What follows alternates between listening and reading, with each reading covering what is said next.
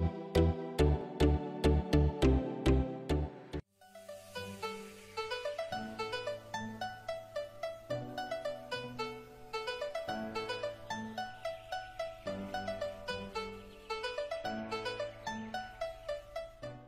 মার্কেটটাতে প্রচুর ভ্যারাইটিজের খাবার পাওয়া যায়।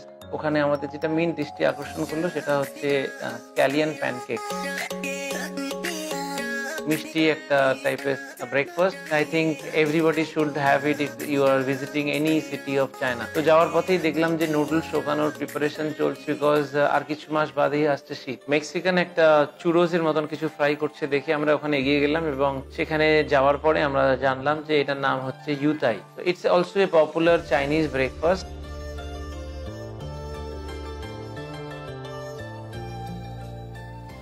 youtiao খাওয়ার পরে আমরা রওনা দিলাম হচ্ছে চাইনিজ মার্কেটগুলো দেখার জন্য। ওখানে অনেক সুন্দর সুন্দর মলস আছে।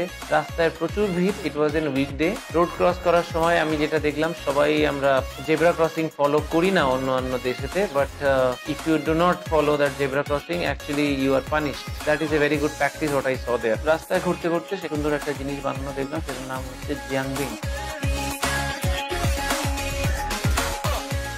রাস্তায় সেরকম ভাবে দেখতে পাবেন না, কারণ খুব রেয়ারলি আজকাল এই জিয়াংমিং জিনিসটা বানানো হয়।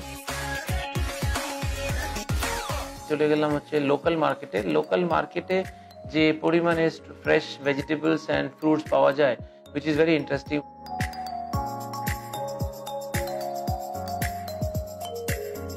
আমরা রওনা দিলাম হচ্ছে সাংহাই পল টাওয়ারের দিকে। এটা হচ্ছে একটা টিভি স্টেশন। এই টাওয়ারের ওপর থেকে আপনার আমাদের যে ভিউটা, এই ভিউটা অত্যন্ত সুন্দর এবং এটার একটা টিকিট কেটে উপরে যেতে হয়।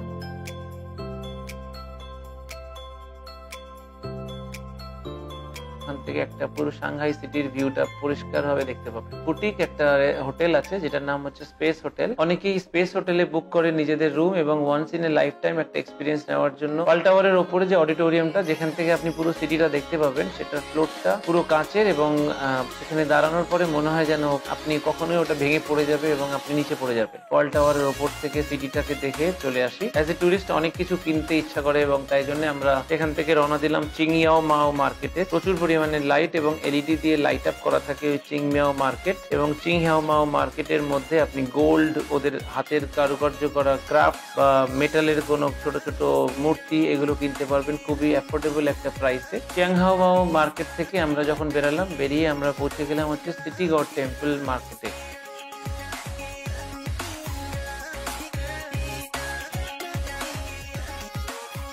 সিটি গড টেম্পল মার্কেটের মধ্যে একটা মন্দির আছে। মন্দিরটার নাম হচ্ছে সিটিগড় টেম্পল। বেসিক্যালি তিনটে মূর্তি পুজো করে। যে তিনটে মূর্তি হচ্ছে আমাদের অনেক আগের প্রাচীন চাইনিজ উপকথাতে পাওয়া যায় যে এই তিনজনই নাকি মেইন যারা এই সাংহাইকে চেঞ্জ করেছে।